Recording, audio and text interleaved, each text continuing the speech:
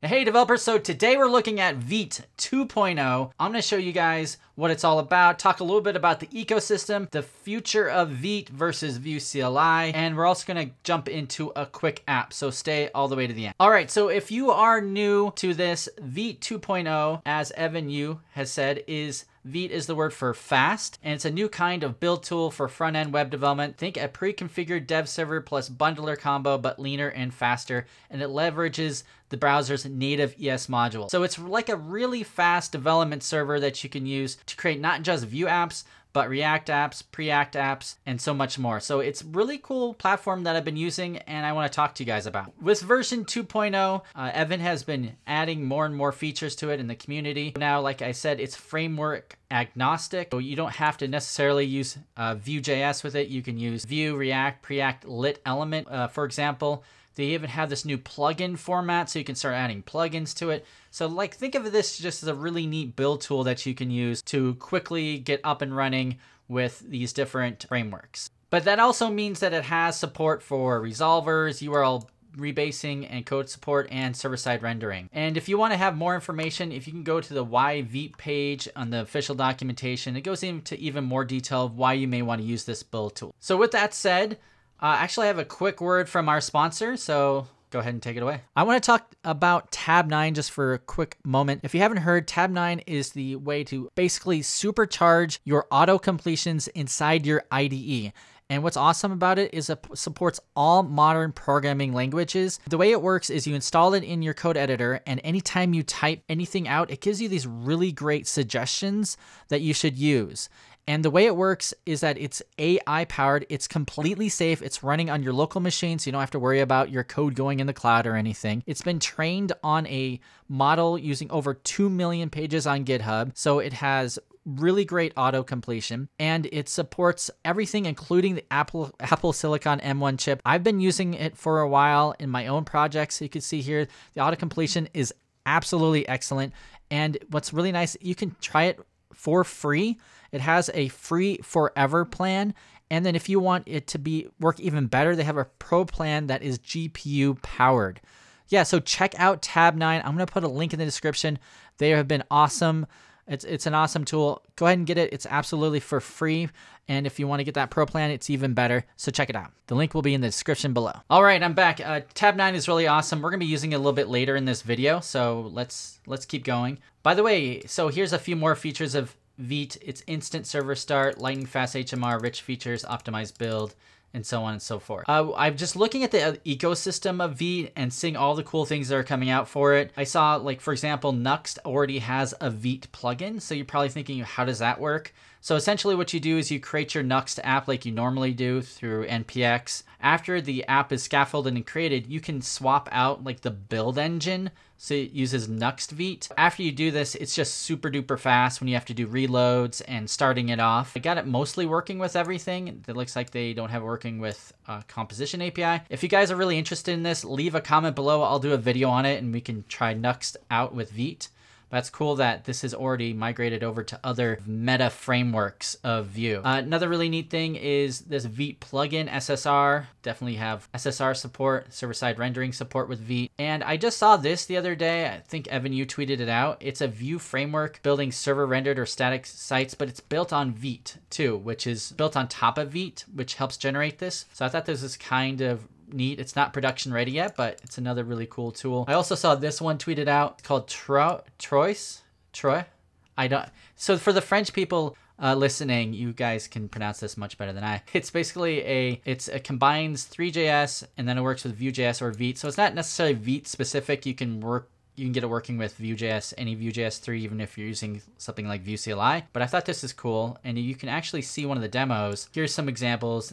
I mean, using Vite and Three.js and Vue, which is really cool.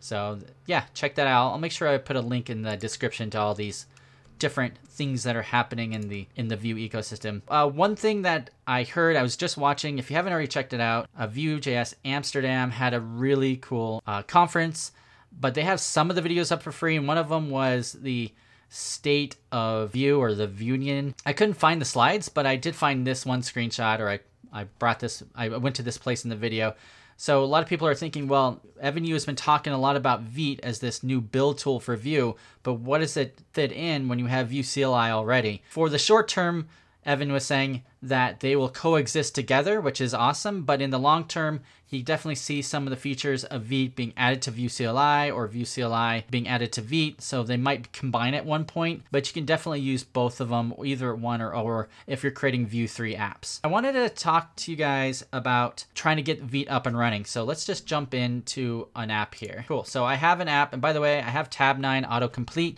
Uh, there will be a link in the description. You guys can check that out. I do have two other plugins that I'd highly recommend if you're using Vite, especially today I was going to try to, set up Vite with a Vue 3 app with TypeScript. And the two that you really want to install is something called Vetur, which is the Vue tooling for VS Code. So make sure you install that.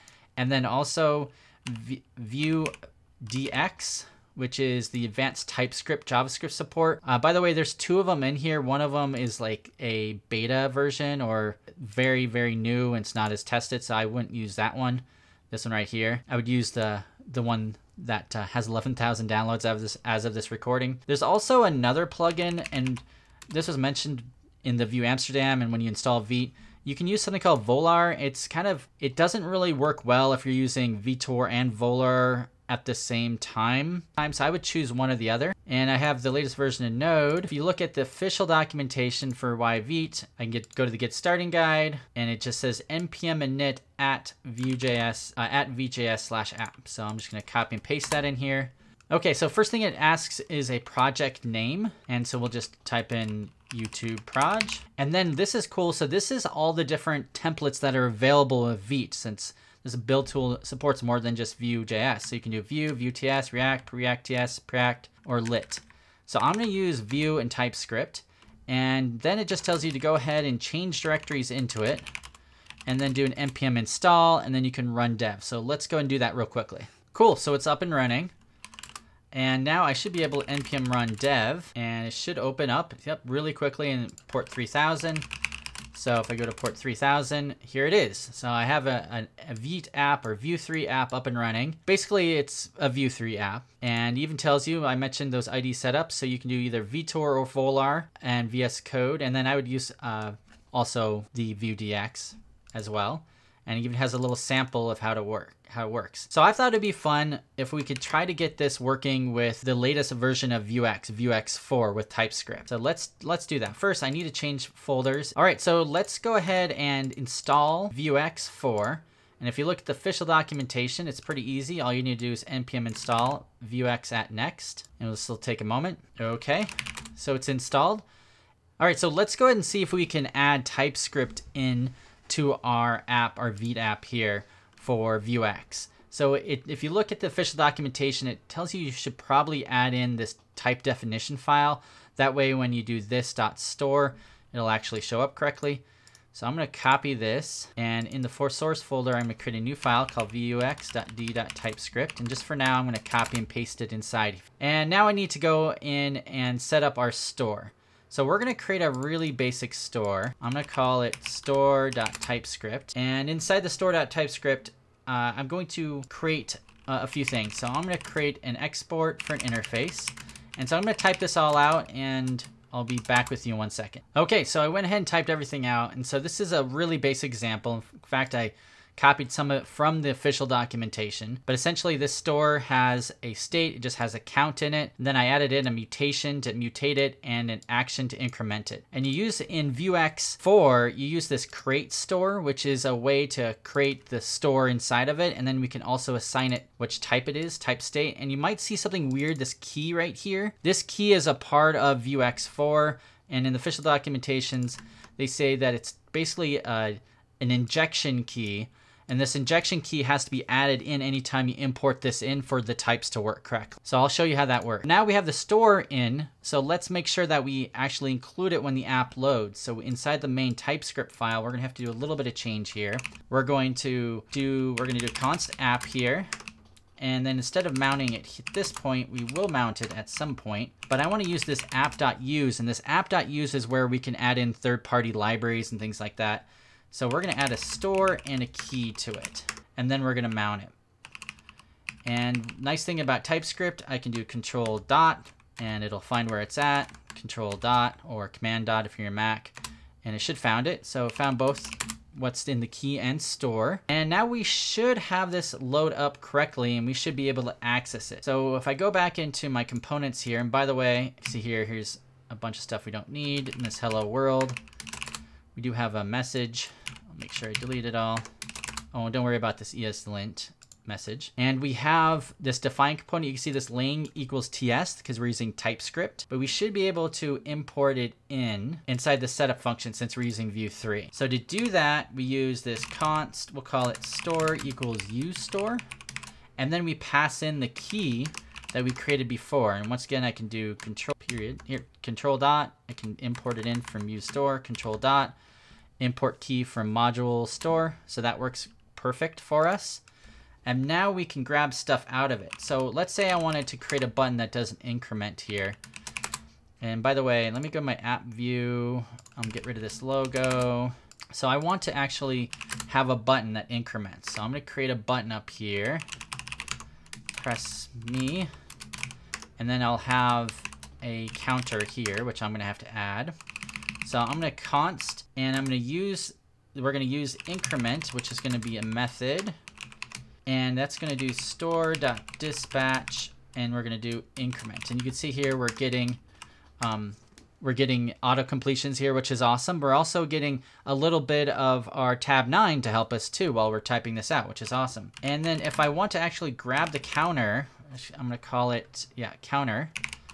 I'm going to use a computed property and this computed property is store dot uh, state and then I'm going to have, you can see here, right here, we have auto completion here, which says count. That's from TypeScript. And then computed, I can just hit control dot and we can add computed from declaration to view. So we just went ahead and added it. And now we can pass both these out. So I'm going to pass counter and increment. And if I did this right, I should add in an event here. So every click, it does the increment. Should work. So let's see if it works. I'm npm run dev and look, it loaded already. It's super duper quick. Here's the app. Here it is. And I'm pressing it. Sweet. So you can see here, now I am using my Vuex store and I have types set up. And just to show you a little bit more, uh, we have types on our store. So store dot, you can see here we have store dot state. We are getting our getters and state, everything else that we uh, expect. Our dispatch and commit. Our commit um, we can see here, here's Tabnine telling us how we can commit it in there, which is awesome. We can also, if we're using like the mounted hook, so let's say we are in, we're not using, let's say we're not using Vue 3 and we're just using regular Vue and we're using the data and the methods.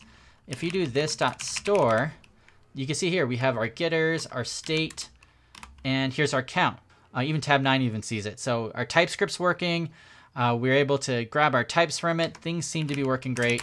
So yeah, this is just a quick example of how you may want to use Vite. One thing definitely with Vite is that it doesn't have the plugin system that Vue CLI has. So if you're looking to just quickly add in a bunch of things, you might have to just install them through the npm system and then configure it yourself.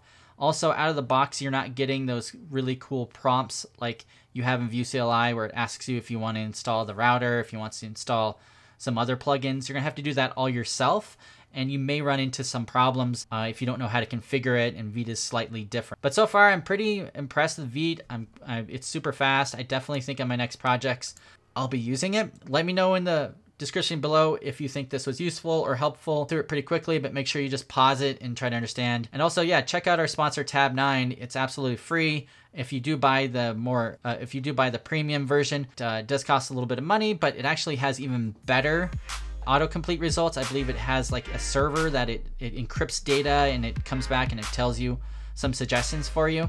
Yeah, so check that out. I appreciate it. Thanks.